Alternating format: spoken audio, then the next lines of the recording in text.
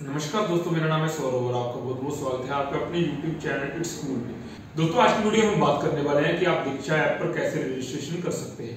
तो चलिए, बिना देर के शुरू करते हैं हमारी आज की वीडियो लेकिन हमारी आज की वीडियो में आगे बढ़ने से पहले जो व्यूअर हमारे चैनल पर पहली बार आए थे वो चैनल को सब्सक्राइब ज़रूर कर दें और साथ साथ इस बेल नोटिफिकेशन का आइकन को ऑल पे ज़रूर सेट कर दें, ताकि हमारे लेटेस्ट अपडेट आप तक जल्दी से जल्दी पहुँच सके वो बिना देरी के।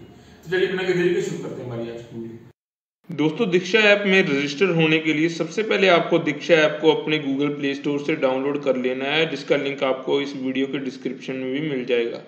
आपको सिंपली वहाँ पर क्लिक करके इस ऐप को डाउनलोड करके ओपन कर लेना है। दोस्तों, ऐप को ओपन करने के बाद सबसे पहले आपको अपनी प्रेफर्ड लैंग्वेज को सिलेक्ट कर लेना है।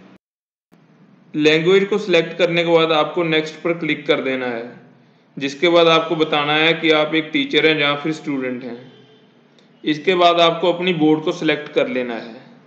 जैसे कि CBSE board Himachal board Punjab board extra board को सिलेक्ट करने के बाद आपको जारी रखे पर क्लिक कर देना है।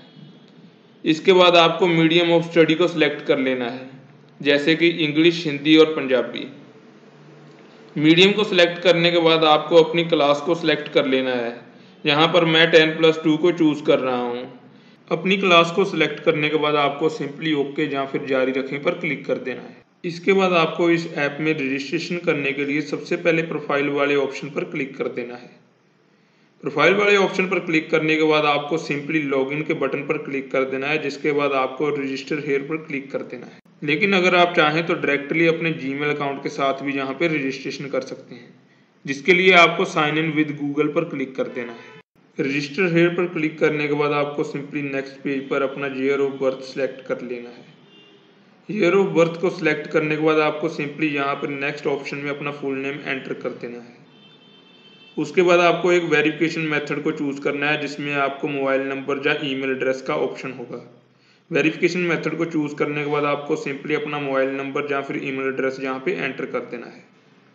इसके बाद आपको नेक्स्ट एक स्ट्रॉन्ग पासवर्ड को क्रिएट करना है, जिसमें कि कम से कम एक कैपिटल लेटर एक स्मॉल लेटर एक स्पेशल करेक्टर और एक न्यूमेरिक करेक्टर होना बहुत ज़रूरी है।